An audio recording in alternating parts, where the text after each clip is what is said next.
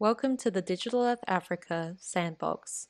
In this video, you'll be learning about the Wetlands Insight tool. To open the tool, go to the Real World Examples folder and select the Wetlands Insight Tool notebook.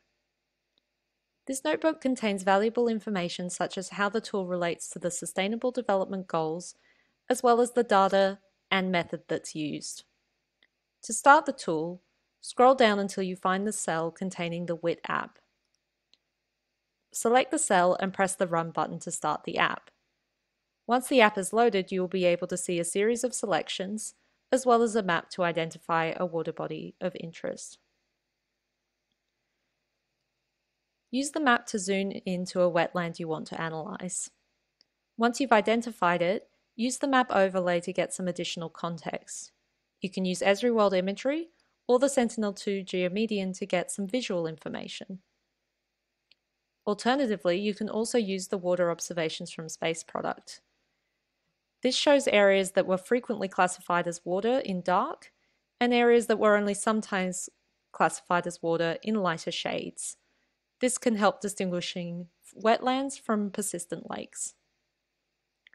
Once you have chosen a map overlay to help guide your drawing, you can choose the polygon tool or the rectangle tool to map out your area to analyze.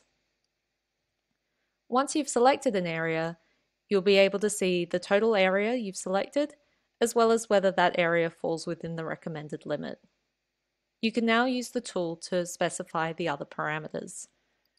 For the start date, we're going to choose the 1st of June in 2019 and also analyze until that date uh, in 2021.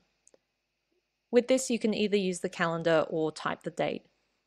We'll leave these two parameters as they are, um, as they're sensible defaults.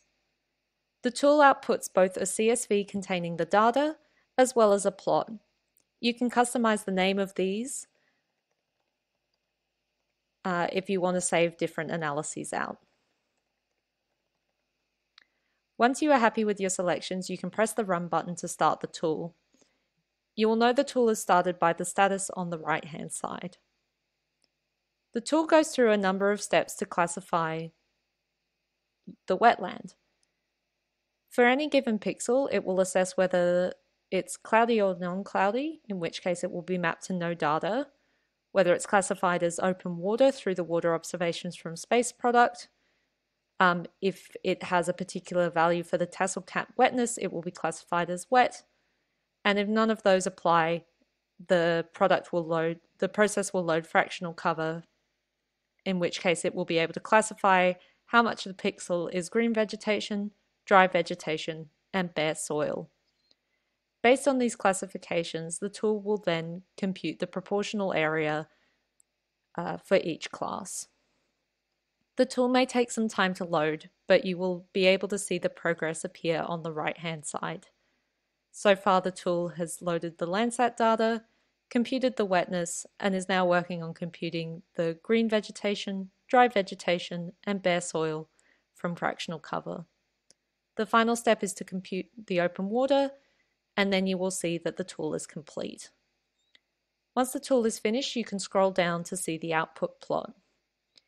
In this case, you can see the clear seasonal variation of this wetland where it transitions from predominantly open water to predominantly dry vegetation and bare soil.